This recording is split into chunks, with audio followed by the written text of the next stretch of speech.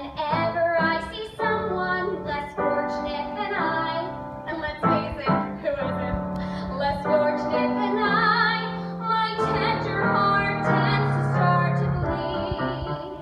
And when someone needs a makeover, I simply have to take over. I know, I know exactly what they need. And even in your case, though it's the toughest.